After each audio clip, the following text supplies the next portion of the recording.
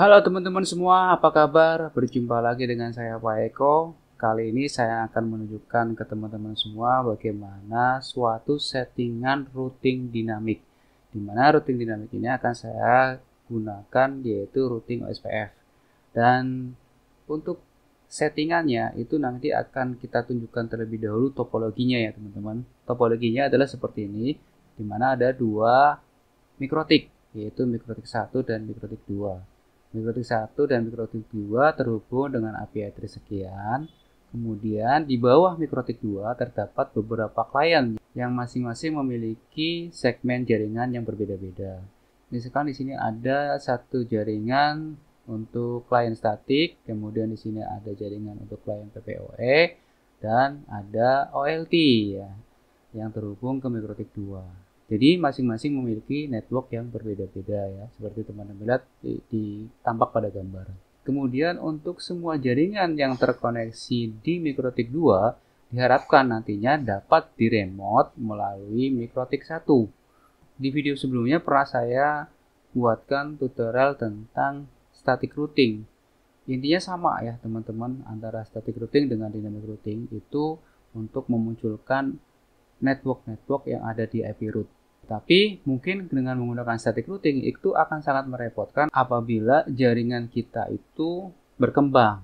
Misalkan bertambah lagi jaringan yang lain ya, ada lokal lokal yang lain atau bertambah lagi routernya. Jadi seiring dengan perkembangan router itu tidak mungkin kita melakukan static routing dengan menambahkan aturan static routing secara manual satu persatu. Setiap ada jaringan-jaringan baru itu akan sangat merepotkan. Jadi dengan menggunakan nantinya routing OSPF atau dynamic routing yang lain itu akan sangat memudahkan. Baik teman-teman semua kita langsung saja menuju ke bagaimana cara men-settingnya. Nah ini sudah kita saya sudah mengkondisikan winbox ya ke mikrotik 2 dan satu lagi ke mikrotik 1 ya. Ini teman-teman bisa lihat ini sudah ada namanya mikrotik 1 saya remote dengan IP 5.1 dan ini saya remote dengan 88.1 ya. Ini sama saja dengan ya 88.1 ini sama saja dengan yang ini ya teman-teman IP yang ini. Jadi sementara sekarang saya hubungan komputer saya ke sini dulu ya ke mikrotik 2 dulu ya. Supaya bisa meremote kedua-duanya. Kebetulan topologinya adalah mikrotik 2 itu sudah terkoneksi secara langsung ya dengan mikrotik 1 di mana ada aturan ketuwe. Jadi di sini sudah ada di mikrotik 1 itu adalah sebagai sumber internetnya. Jadi IP address-nya ini sama seperti settingan sebelumnya ya, itu one-nya ke arah mikrotik 1 ya, ini dengan IP address 5.249 dan beberapa IP lokal untuk klien statik ya. Kemudian ada klien dinamik ya di bridge 1 kemudian ada PPOE kalau di interface-nya itu di Ether 3 dan di Mikrotik 1 untuk settingannya ya dari IP address-nya teman-teman di Mikrotik 1 nah, cuman ada untuk internet ya. Ini internet di Ether 1 ini dari modem secara langsung. Dan ini untuk 5.1 terhubung ke bridge yang terkoneksi juga ke arah mikrotik 2 ya. Jadi teman-teman ini sudah uh, dihubungkan ya ke arah mikrotik 2. Mikrotik 2 itu terhubung ke ether bridge ya. Bridge itu di sini ya. Ether 3 itu termasuk ke dalam bridge juga ya di satu. Oke, jadi intinya sudah terkoneksi ya antara mikrotik 1 dengan mikrotik 2 dengan IP address yang ini ya 5.1 dan di mikrotik 2 nya itu IP addressnya adalah 5.249 sekarang bagaimana caranya kita akan memunculkan di mikrotik 1 ini IP lokal dari mikrotik 2 ini mirip dengan static routing ya tapi kalau static routing itu kita masukkan secara manual di sini tetapi di sini nanti kita akan lakukan secara dinamik ya. Jadi kita akan setting menggunakan yang namanya routing OSPF. Di sini teman-teman bisa lihat, jadi kita setting mulai dari mikrotik 1 dulu ya, teman-teman, ke routing OSPF. Nah, teman-teman bisa lihat di routing OSPF ini ada beberapa menu yang bisa teman-teman lihat ada interface. Di interface ini bisa disetting secara manual atau uh, muncul secara otomatis ya, secara dinamik. Kemudian ada instan di sini adalah sebuah router ID ya. Jadi belum running. Kemudian ada network. Ini masih kosong. Kemudian ada area. Ya, area sudah ada satu ya backbone. Jadi nanti area-area ini sebenarnya bisa teman-teman tambahkan juga Kemudian yang penting nanti di Negol ya, di Negol ini bisa akan muncul kalau ada koneksi. Jadi untuk settingannya kita bisa lakukan secara manual untuk interface, tapi saya tidak akan melakukan itu, saya akan langsung saja ya mengkoneksikan dengan network. Jadi intinya di routing OSPF kita cukup menambahkan networknya saja. Jadi yang pertama kali kita lakukan adalah menghubungkan network dari mikrotik 1 ke mikrotik 2. Jadi network yang sama di mikrotik 1 dan mikrotik 2 itu adalah yang ini ya teman-teman. Dengan IP address 192. Jadi kita tambahkan teman-teman. Titik 168 titik 5 titik 1 titik 0 ya karena network jadi kita titik 0 per 24 jangan lupa untuk net massnya ya per 24 areanya backbone karena area itu tadi cuman ada satu ya teman-teman. Di sini kan di area itu cuman ada satu. Ini ya tadi oke. Ya. Oke kalau sudah kita setting ya di network ini ya nanti akan kita muncul mun, uh, kita apply ya ini akan muncul nah teman-teman itu muncul ya satu aturan ya jadi di instan itu masih tetap ada. Nah, di network ini muncul ya, di interface muncul satu interface secara otomatis itu ada muncul namanya bridge 1 ya. Karena IP address 5.0 itu berada di interface bridge 1. Jadi secara otomatis ya, teman-teman nggak perlu secara manual masukin nggak apa-apa ya. Kemudian di Nebul nanti kalau ada OSPF yang aktif dengan network yang sama dia akan muncul teman-teman. Ya ini karena untuk Picrotic satunya belum disetting maka belum muncul networknya ya.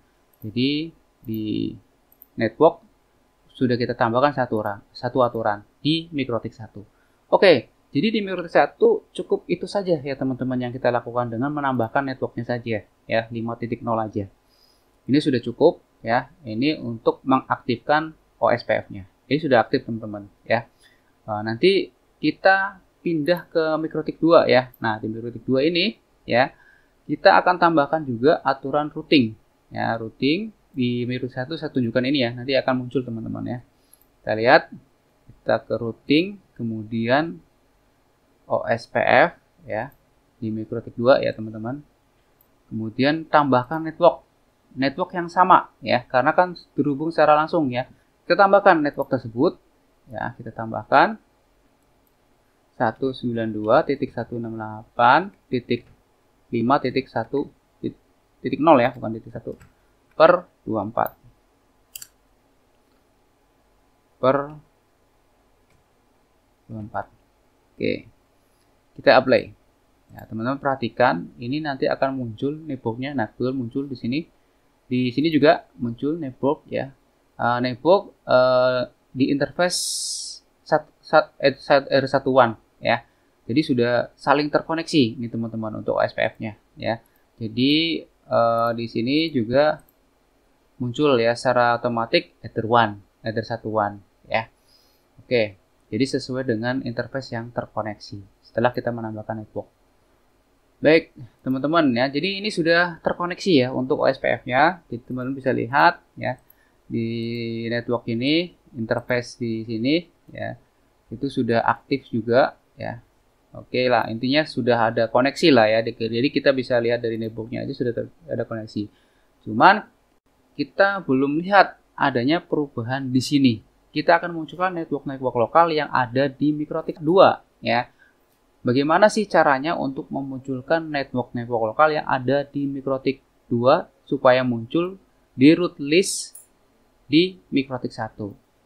Ya, jadi mungkin kita tes dulu untuk yang ini dulu ya teman-teman ya. Yang statik yang 80.0 ya. Kita tes dulu. Kita tes dulu yang routing statik di uh, sini ya kita tes di mikrotik 1 teman-teman ya. Kita lakukan ping dulu ya. Kita lakukan ping ya, ping. Yang besar kecil ya. Ping. 192.168.80.2 jadi IP address 80.2 ya. Ini sementara belum terkoneksi ya teman-teman. Ini bisa lihat ini replaynya salah ya. ya jadi sementara belum terkoneksi ya teman-teman bisa lihat ya. Oke saya close dulu aja. Atau saya biarin aja ya. Saya kembali ke sini ini nah kita munculkan di sini ya teman-teman ya. Atau yang tadi kita close dulu aja ya. Kita berhentikan. Ini enggak connect ya teman-teman ya. Oke bagaimana cara memunculkannya? Di sini cukup mudah. Kita kembali ke, ke mikrotik 2 di mikrotik 2 kita hanya menambahkan networknya saja. Jadi yang kita lakukan setting bukan di mikrotik 1 teman-teman. Jadi kita tambahkan di mikrotik 2 aja ya itu kita tambahkan IP 192.168.80.0 per 24 Nah, seperti ini. Kita apply ya, teman-teman. Nah, kita lihat. Nah, ada perubahan. Teman-teman bisa lihat di routing list ada DAO ya di Mikrotik 1 DAO. Ini muncul secara otomatis ya. Artinya dinamik aktif O-nya itu OSPF ya. Jadi secara dinamik dia muncul dengan sendirinya ya. Oke ya, teman-teman bisa lihat di netbook tetap ya, netbook tetap ya. Yang bertambah itu ada di interface teman-teman. Di interface. Jadi ini agak gesernya agak jauh ya. Interface.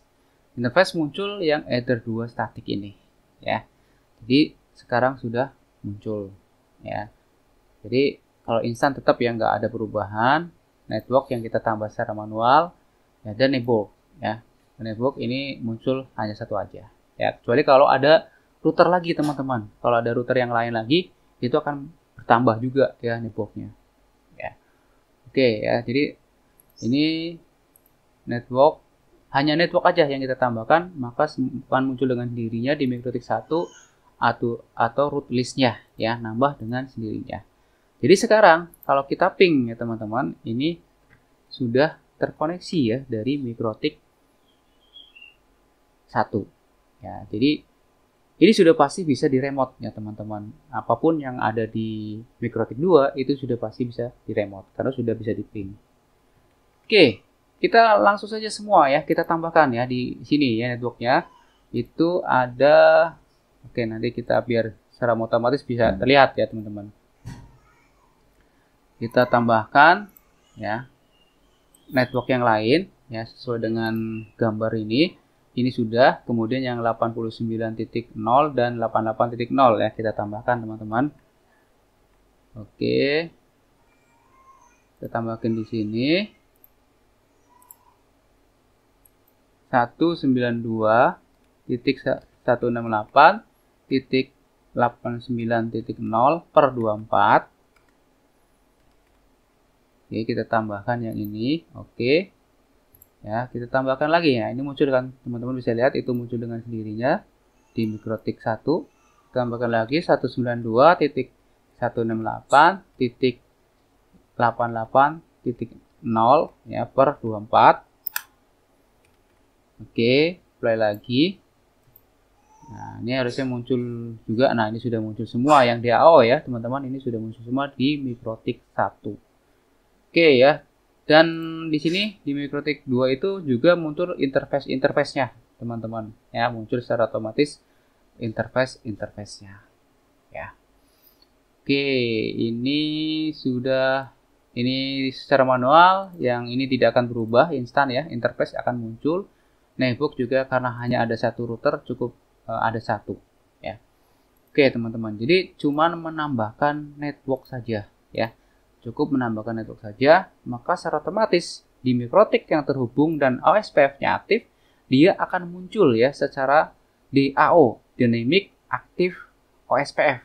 Ya, jadi IP-IP lokal yang ada di jaringan yang di mikrotik 2 itu akan muncul dengan sendirinya. Dan ini semua ya kita udah pasti terkoneksi dengan klien-klien ya yang ada di sini ya yang ada di mikrotik 2 ini sudah pasti ya. Jadi kalau kita lakukan ping ya di sini ya kita ping yang 80 tadi udah bisa, yang 89 titik dua sudah bisa ya sudah reply ya. Teman-teman bisa lihat dan kita ping yang 88 ya ke OLT 88.88 ya ini juga sudah bisa. Ya teman-teman seperti itu ya teman-teman. Jadi cukup mudah ya dengan menambahkan network saja di Mikrotik 2 akan muncul dengan sendirinya root list ya jaringan lokal dari Mikrotik 2 dan ini ya semua yang ada di Microtik 2 bisa di remote melalui Microtik 1. Jadi teman-teman bisa lihat ini yang terhubung secara di kita lihat interface-nya. Nah, ini saya komputernya masih di Microtik 2 ini teman-teman ya. Nah, ini komputer saya masih di Microtik 2. Nah, sekarang saya pindah dulu supaya komputer saya berada di Microtik 1. Oke ya. Saya pindahkan sesuai dengan topologi ya teman-teman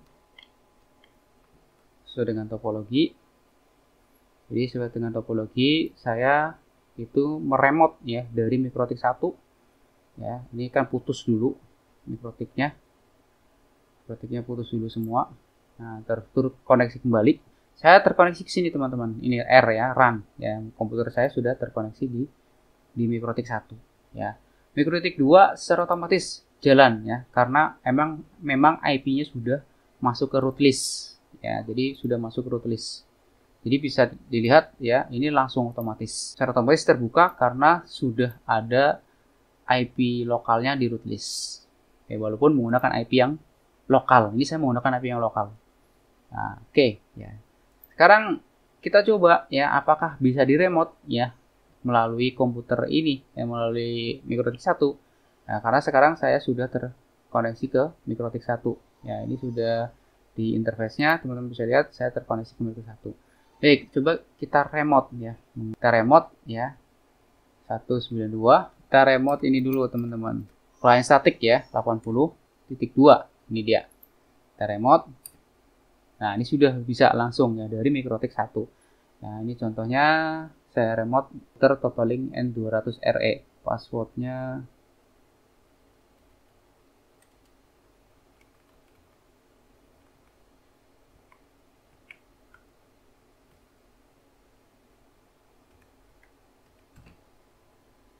Oke, sudah masuk ya. Jadi sudah bisa masuk, teman-teman. Intinya sudah bisa masuk ke N200RE tadi yang client static ya. Kemudian ke N300RT yaitu 192 ini 168.89.2. Nah, ini itu dua ya. Nah, kita lihat. Nah, ini juga sudah masuk ya. Jadi sudah bisa. Nah, itu Oke, sudah bisa ya. Ini yang klien PPPoE ya. Dan satu lagi ke OLT ya, 192 titik 168 titik 88 titik 88. Nah, ini nggak perlu port lagi ya. Jadi langsung saja seperti ini. Nah, ini masuk juga ya teman-teman. Ya. Oke. Oke teman-teman. Jadi eh, kita nggak perlu lagi pindah-pindah koneksi, cukup dari mikrotik satu saja kita sudah bisa meremot semuanya teman-teman ya di di mana pun posisi kita berada ya koneksi kita berada yaitu kita bisa melakukan remote semua jaringan yang ada ya. Itulah pentingnya suatu settingan routing ya. Settingan routing yang ada di seluruh mikrotik ya. Kalau bisa di semua mikrotik itu sudah diatur settingan seperti ini. Ya, ini contoh routing menggunakan OSPF. Jadi dengan menggunakan routing OSPF itu kita akan lebih fleksibel ya dalam hal untuk meremot ya, mengatur jaringan dari router mana pun kita berada. Baik teman-teman semua, itu tadi sudah saya tunjukkan ya bagaimana bentuk setting routing dinamik ya, secara dinamik atau dinamik routing menggunakan OSPF. Oke, teman-teman, itu saja yang bisa saya tunjukkan ke teman-teman semua bagaimana bentuk setting routing OSPF ya, teman-teman. Jadi cukup mudah untuk melakukan settingannya. Jadi teman-teman bisa memanfaatkan routing OSPF ini untuk melakukan koneksi ya jaringan-jaringan lokal melalui mikrotik-mikrotik yang saling terhubung. Akan sangat bermanfaat jika teman-teman memiliki mikrotik cukup banyak ya, tidak hanya satu tetapi lebih dari satu ya, dua atau lebih. Ya, itu bisa kita manfaatkan dengan menggunakan routing SPF untuk saling mengkoneksikan seluruh jaringan antar mikrotik. Oke, itu saja yang bisa saya sampaikan. Mudah-mudahan bermanfaat dan jangan lupa yang belum subscribe, silakan subscribe dan tekan tombol lonceng, pilih semua agar mendapatkan notifikasi video-video terbaru yang saya upload dan yang ingin bertanya silakan tinggalkan di kolom komentar. Jangan lupa like and share jika video ini bermanfaat. Itu saja, berjumpa lagi di next video.